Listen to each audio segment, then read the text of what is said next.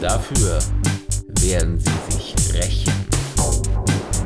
Sie werden überlegen, wie sie dich loswerden können. Sei höflich zu ihnen. Wenn du es nicht bist, werden sie beleidigt sein. Wenn du in direkten Kontakt mit ihnen kommst, mach kein Geheimnis daraus, wie sehr du sie brauchst. Wenn sie spüren, dass du sie nicht brauchst, werden sie sofort versuchen, dir zu beweisen, dass du sie unbedingt brauchst. Wenn das nicht klappt, werden sie dir zu verstehen geben, dass sie dich überhaupt nicht brauchen.